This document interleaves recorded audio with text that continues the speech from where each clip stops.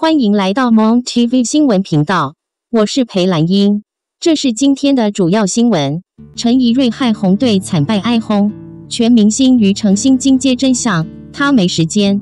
红队在上周播出的全明星运动会惨败，其中陈怡瑞失误连连，被网友认为是最大战犯。事后他也难过爆哭发文，对此于程心透露，大家都有安慰他，但认为他需要的不是安慰。而且陈怡瑞练习都是全勤到场，他还把五人制棒球的练习时间拿去花在桌球、羽球上，因为他已经没时间了。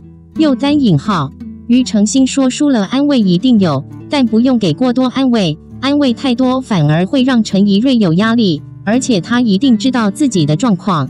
对汉之跟曾玉家事后，对三连败都有发文，汉之写下看完播、看完留言、看完讯息。我只想说，你们这群臭榴莲，就不要让我们拿总冠军来打你脸。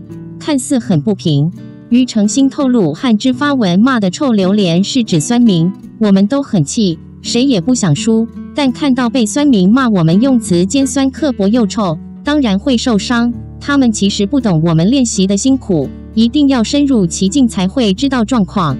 又单引号，而他夏普阳。张家生、辛普生近来曝光多，如今红队惨输，也有网友认为三人是否外物太多才影响表现。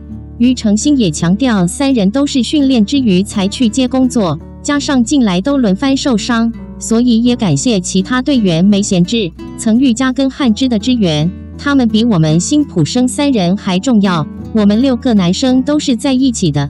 感谢您收看 Mon TV 新闻频道，记得点赞。分享和关注，每天更新最新消息，在评论部分让我知道你的想法。